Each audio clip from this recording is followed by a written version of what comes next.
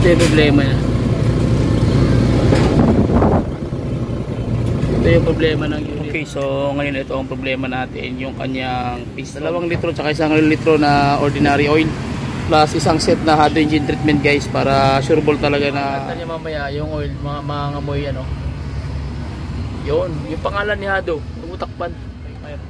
So ilagay na natin guys yung hado engine treatment ayan.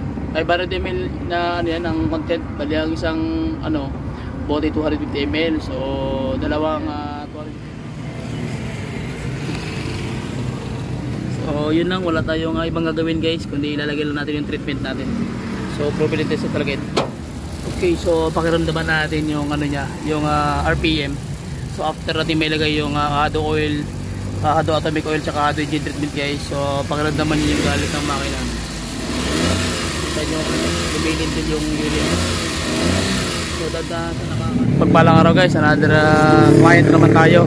Ang problema eh nagbabawas daw ng oil tsaka may lumalabas na oil. Naga white smoke tsaka naga ano, malakas yung agas ng oil. Malakas mag-consume ng oil. So check natin guys kung ano nga may tutulong natin dito na hindi tayo magbubukas ng makina kundi mag-ano lang tayo. Mag-hato engine treatment okay? So tara let's go. Let's start the yung problema niya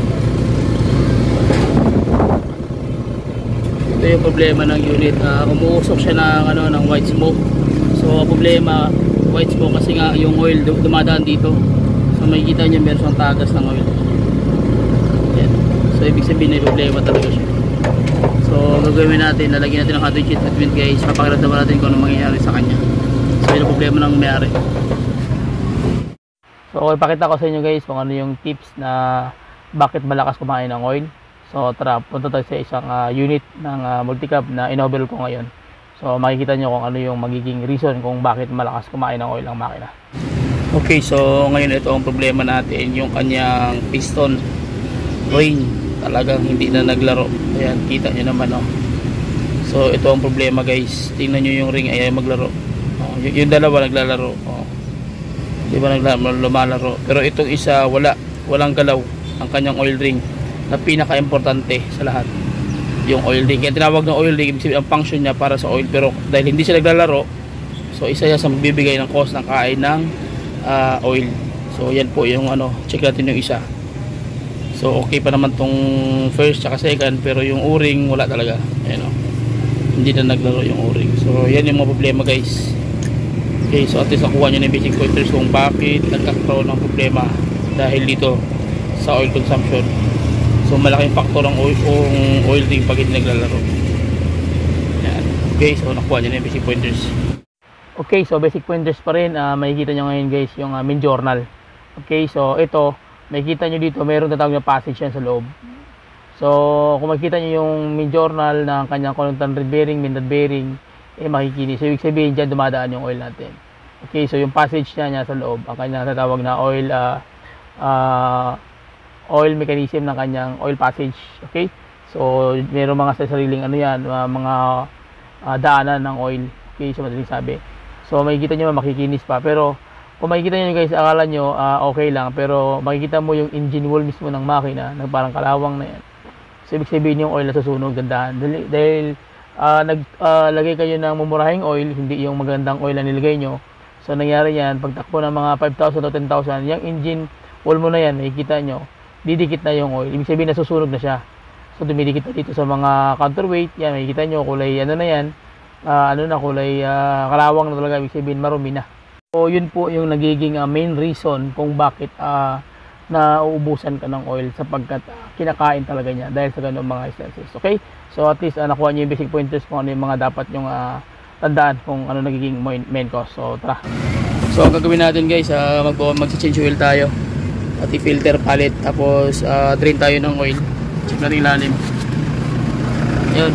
So, nagdi-drain na tayo ng oil guys.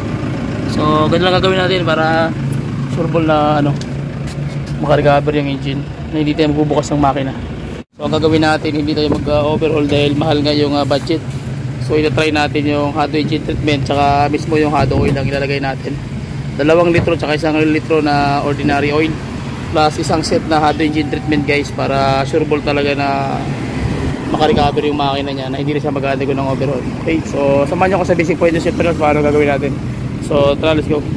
Okay, so ilagay mo na yan, Brad. Kay gwapo ka. Ano? Sige. Ang ating emperador. So, lagay lang tayo ng Hado atomic oil, guys. Ah, dalawang litro lang ilalagay natin. Tapos, ang pangatlong litro is yung oil na ano, na ibang klaseng oil.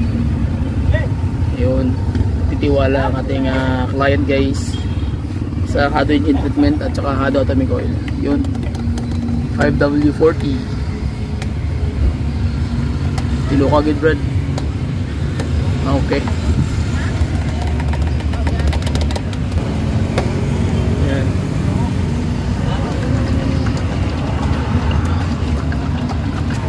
Shake man Parang pag nakashake o balot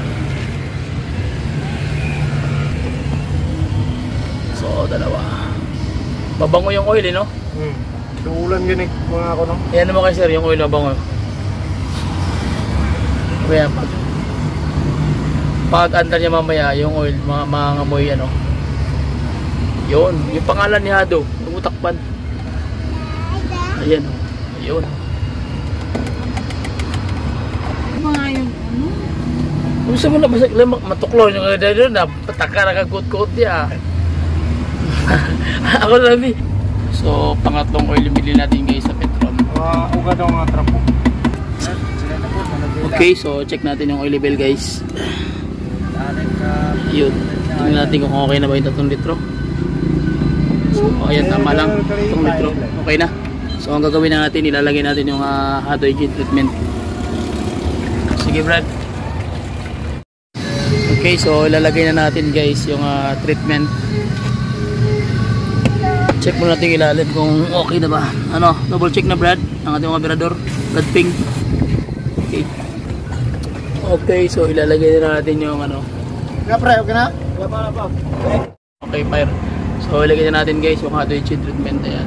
500 ml na ano yan, ang content. Bali ang isang ano, bote 250 ml. So, dalawang ah, 250 ml, 500 ml. Okay, so yun po yung ilalagay natin. Okay. Yung. So, yan. Shake-shake natin para sure ball talaga. So ang gagawin niya naman guys, uh, i-recover niya yung uh, buong system ng makina mo, especially yung uh, metal surface ng bakal mo. Yung piston ring, yung mga carbon deposit doon, itrahin niya yun. Ayan.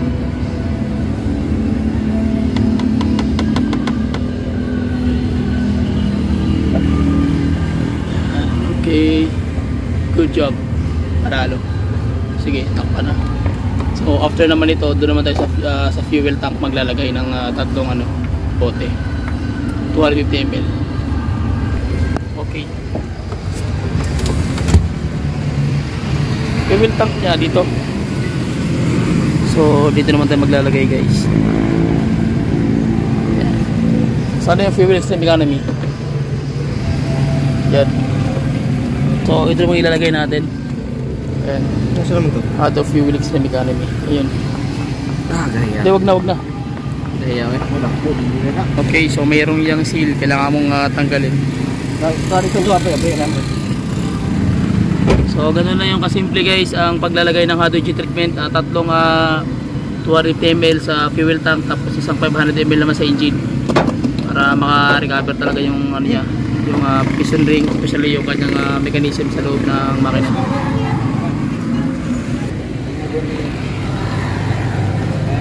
Sud na na. Oh, doon i-eat ko lang. Ibili nito.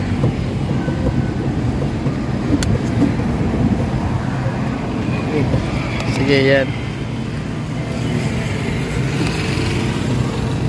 So, yun lang. Wala tayong uh, ibang gagawin guys. Kundi ilalagay lang natin yung treatment natin. So, probability test talaga ito. So, after that, okay na. Pandalin na natin yung engine. Okay. Okay, so, pandalin na natin guys yung engine.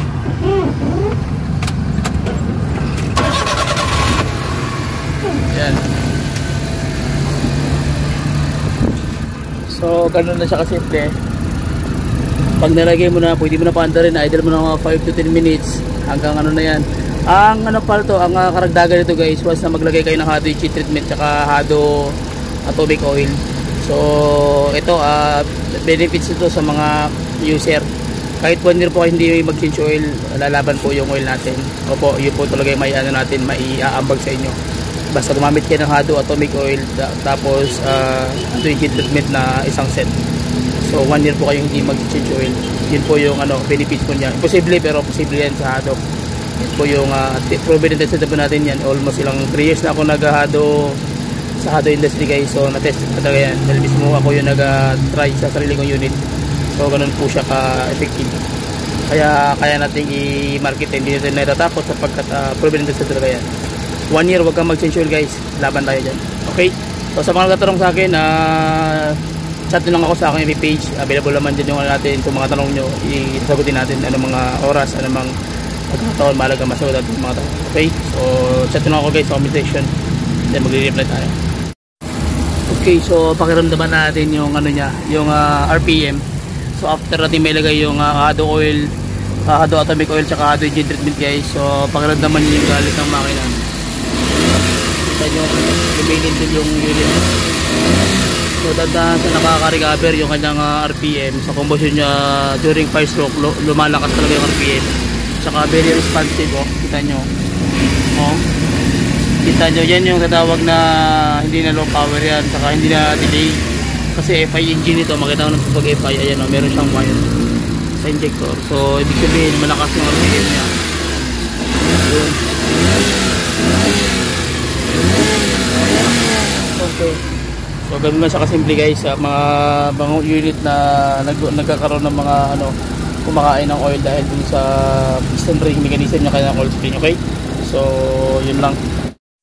So shoutout sa ating lahat guys, sa lahat ng mga aking subscribers at followers at sa lahat sa mga sumusuporta at ah, patuloy na walang sawang uh, sumusubaybay sa ating mga vlog. So please subscribe to YouTube channel. Bye bye and God bless.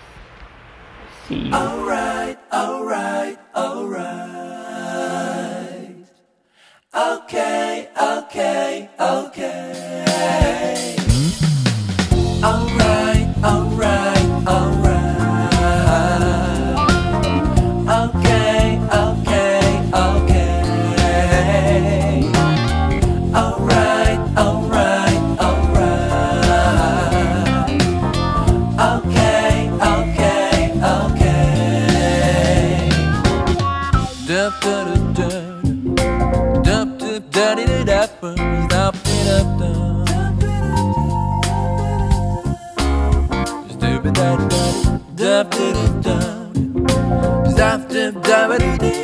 dup dup Da da da da da da da da da da da